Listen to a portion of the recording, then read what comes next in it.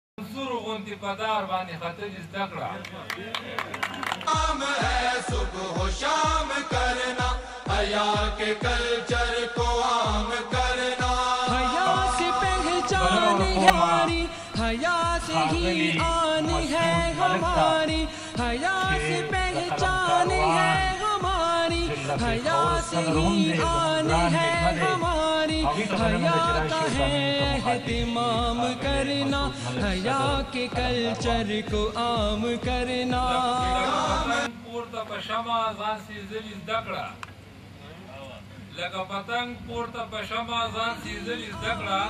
پاره سینه د ګل د پاسه د بلبلي زده کړه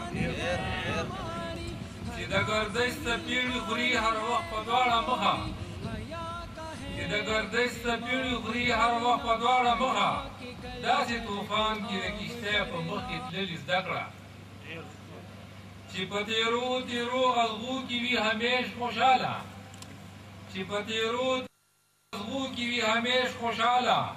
داسی دنیا کی زندګی لکه د ګل ایسته کړه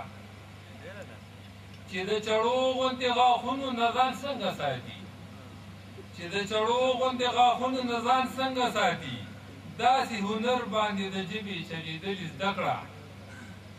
هم د بیمار زړګی دوا ده هم پر هر راولی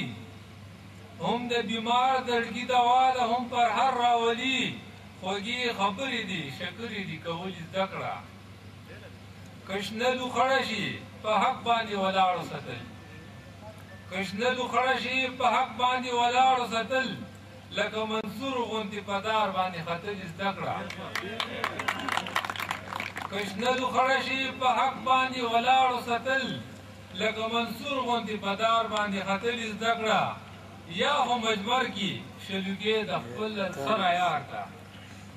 یا هم مجمر کی شلوګې د خپل سره یار ته یا لکه پرخه په ګلونو ورېدلې زده کړه هسې په مینه کې نارې او سورې مه وهه تل هسې په مینه کې نارې او سورې مه وهه تل ورشه سور اور کې